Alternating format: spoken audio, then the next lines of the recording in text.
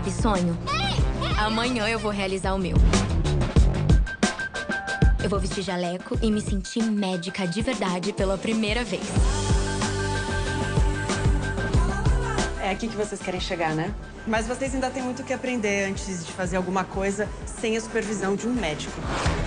Eu, eu vou falar com a manutenção. Ninguém mexe aqui, ok? Eles mexeu. Luli, não toca na Tá tudo bem? Tá acordando. Vai ficar bem. Até a Paula querer te matar, né? Que o quê? Você não fala comigo? Calma, você tá começando a viajar, tá? Você tá muito agitada. Você acha que o Diego tá pegando a Paola?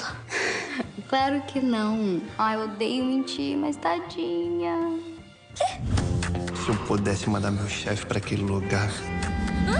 Eu, hein? Parece doida. Bonitinha, por que, que não depila o pulso?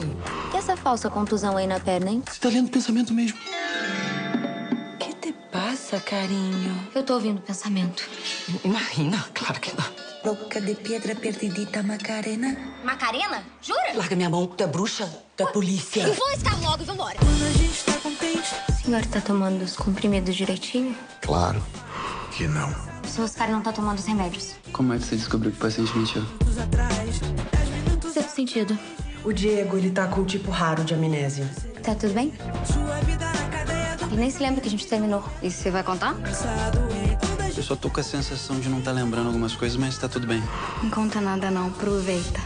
Última vez, vambora.